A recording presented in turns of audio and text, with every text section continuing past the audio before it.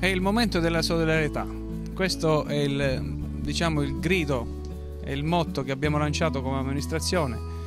Io non è che devo aggiungere tanto altro di quanto ha già detto il sindaco e il presidente della Proloco.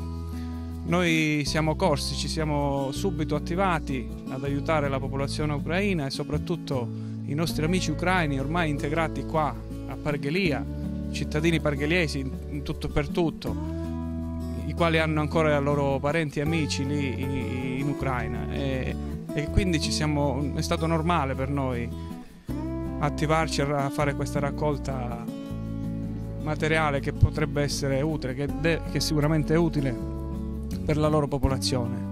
E nel 2022, come diceva Cristina, ancora vedere popoli che aggrediscono altri popoli è una cosa impensabile.